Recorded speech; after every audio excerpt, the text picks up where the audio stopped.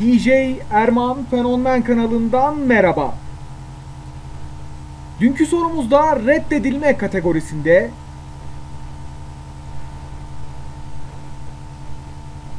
kitap editörü tarafından hayvan hikayelerini satmak imkansızdır diyerek reddedilen eser hangisidir şeklinde bir sorumuz vardı.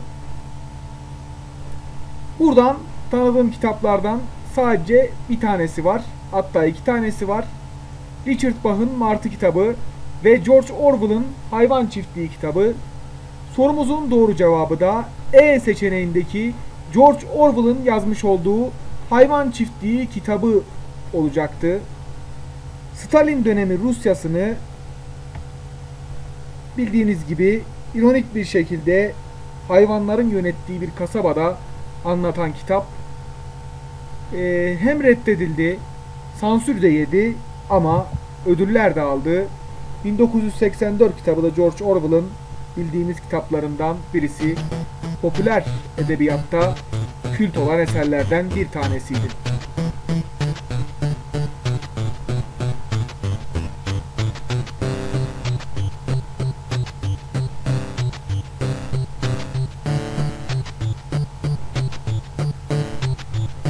Bugünün sorusunda ise sizlere artık bunu da bilmiyorsanız başka bir şey diyemiyoruz. Sevgililer Günü kategorisinde Sevgililer Günü her yıl hangi tarihte kutlanır şeklinde bir sorumuz var.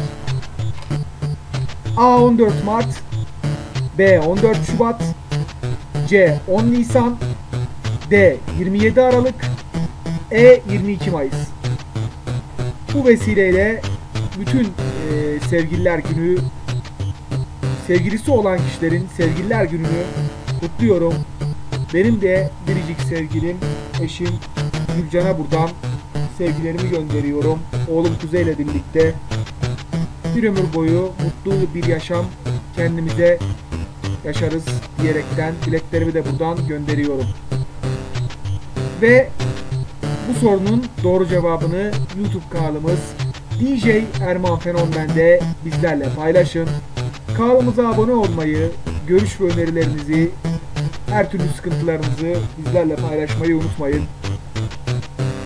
Yeni yarışma sorularında sağlıklı günlerde görüşmek üzere. Esen kalın.